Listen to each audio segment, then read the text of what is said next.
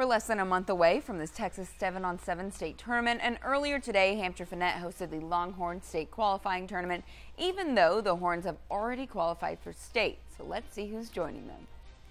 Out to Longhorn Stadium for Jasper versus Silsbee. Winner advances to the championship game. Jasper with the ball. The Dogs make a toss to right get tripped up, but the ball is going to keep on moving there. Back to Jasper this time. The Rock is going over the top to the end zone. A big grab there for the Bulldogs, and they score.